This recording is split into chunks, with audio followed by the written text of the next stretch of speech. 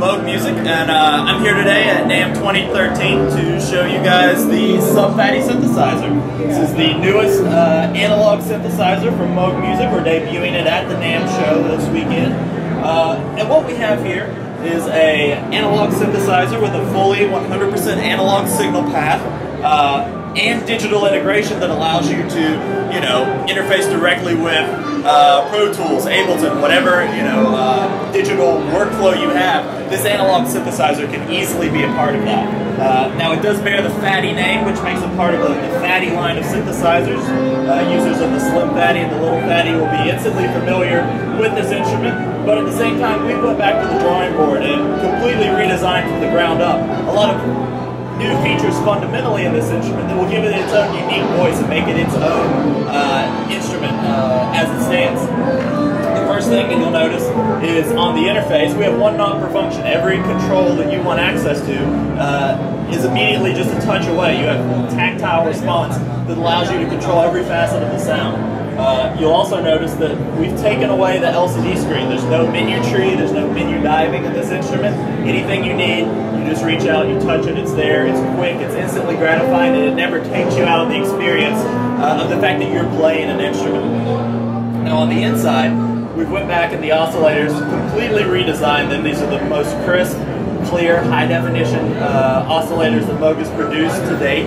Um, there's tons of high frequency content, harmonics uh, that these oscillators are generating, and that's going to give you uh, some, life and some punch, you know, when you're creating dance tracks or if you're on stage competing with a guitar. You know, the, that high frequency content is going to be uh, what puts you over the top and really lets, the, lets you stand out as a player. Um, we also went in on our filter circuit and we've sort of reimagined how we look at filter drive. Uh, Moog synthesizers, historically, from the from the introduction of the first Mini Moog, have had this great ability to overload the circuit and create this really nice overdrive.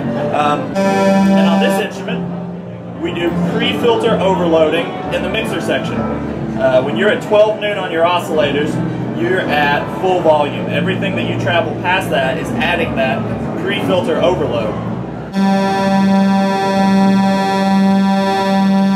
And that just really warms up and thickens up the tone. Now, on the multi-drive knob, we're adding post-filter, FET, uh, FET overdrive, and OTA distortion. And that's going to make it really scream.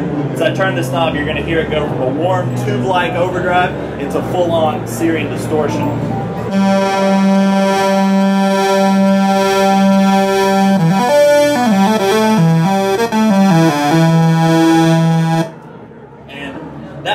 Content that's being created right now is going to give the, the low pass filter a lot to work with.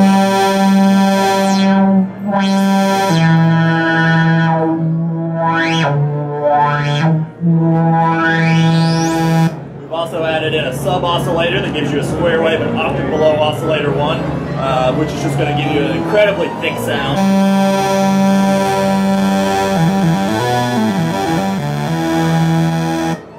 We have a noise source. Uh, noise is an audio source right on the front panel.